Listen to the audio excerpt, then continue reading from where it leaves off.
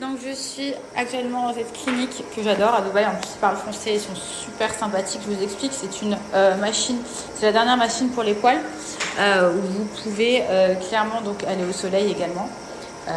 Et ça, ça fait pas mal du tout. J'ai pas souffert la dernière fois. Ça, c'est mes petites lunettes que je vais mettre actuellement. Et bye bye les poils. Hein. La pilosité, c'est une catastrophe. À savoir qu'ils font des packages et que c'est super intéressant au niveau prix, les filles.